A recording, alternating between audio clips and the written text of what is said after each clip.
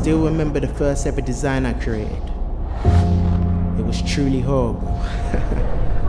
I must have committed every design mistake possible, but it was the first time I felt the sense of ownership, being able to create no boundaries, this illustrating the depths of my mind onto a humble piece of paper.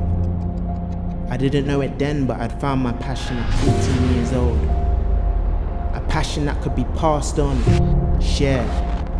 Passion that could influence society in the way people think and interact. And ever since, I've just wanted to create more. Dedicating a piece of myself to master the craft, to craft the masterpiece. I had to put in the work, seeking to undertake a journey of personal development, aiming for the day I could finally feel like I touched perfection. Transferring my vision into an idea, a stroke of a pen, a pixel at a time.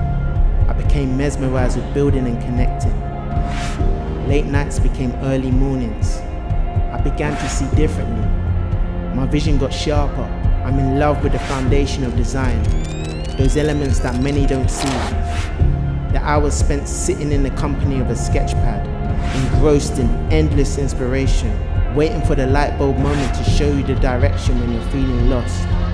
We're so accustomed to seeing the finished product, we often don't appreciate the journey it took to get there.